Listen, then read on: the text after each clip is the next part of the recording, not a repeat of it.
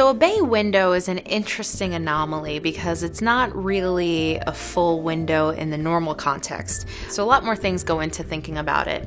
You can address the inside of the bay window or just the outside or both.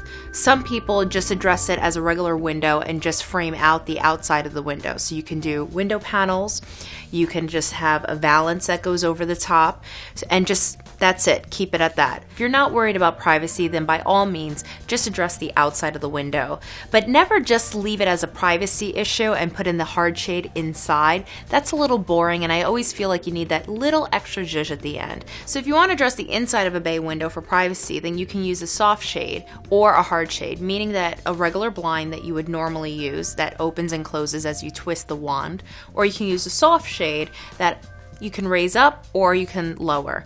And that'll give you the privacy that you need when paired with addressing the outside of the window with either panels or anything decorative as you would a normal window, then you get that double layered effect. And remember that with a bay window, if you have seating in there, also put in a nice little cushion. They may have to be custom made based on the size of your window, but it adds that little extra feature that makes it a little bit more homey.